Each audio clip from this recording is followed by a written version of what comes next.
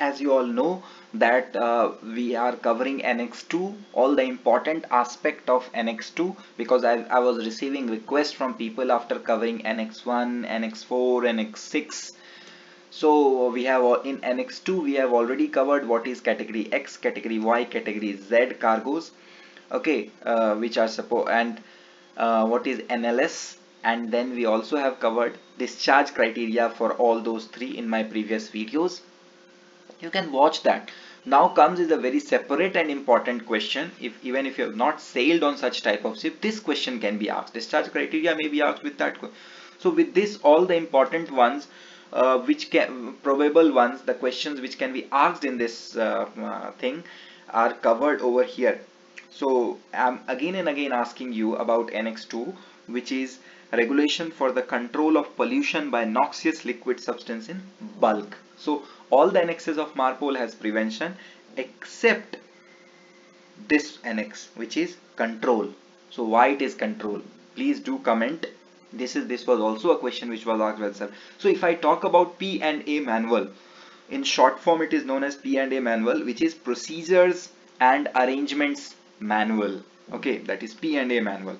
So it is a manual to identify the arrangement and equipment required to enable compliance with Annex 2 okay and to identify for ships officers all operational procedures with respect to cargo handling tank cleaning slop handling residue discharging ballasting and deballasting. So this is in a nutshell altogether. Exact text from there i have kept it for you here. Okay. Every ship which is certified to carry substances of category XYZ shall have okay shall have on board a manual approved by administration. It should have standard format okay it should have standard format in compliance with appendix 4 of this annex. So there is there is a format uh, sorry uh, appendix 2 of this annex. Uh, there is it is given there and it has to be as you all know that all the documents they tend to be in English French or Spanish okay and, and, and one can be in a local language. The main purpose of the manual is to identify for ship's officer the physical arrangement and at the operational procedure with respect to cargo handling, tank cleaning, slop handling, cargo tank, ballasting, deballasting which must be followed to comply with the requirement. Okay so this is what is all about. So here we also have cargo record book operations involving noxious liquid substances and mixture containing them must be recorded in the cargo record book. Since one of the aim of the book is to enable control by foreign authorities the format of the book should be uniform for all ships regardless of flag and an internationally understood language should be used.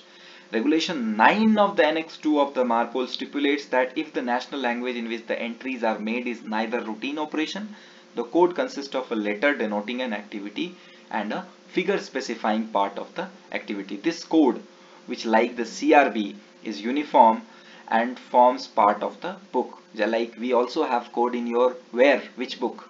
ORB, oil record book. Necessities further elaboration in the form. So these are requirement every ship to which Annex2 is applicable must be provided with a cargo record book whether each part of the ship official logbook or otherwise in the form of a appendix 2 may there is a sample that is given there okay. So this is all together about cargo record book and your procedure and arrangement manual. So i hope it is clear for you. So we have covered procedure and arrangement man manuals. In previous video i've covered what is category x y and z. And in other video we have covered what are the discharge criteria for category X, Y and Z. These are the probable questions. And one question I am asking you all that why it is control unlike other annexes of MARPOL which is prevention. Okay, please do comment. Thank you so much.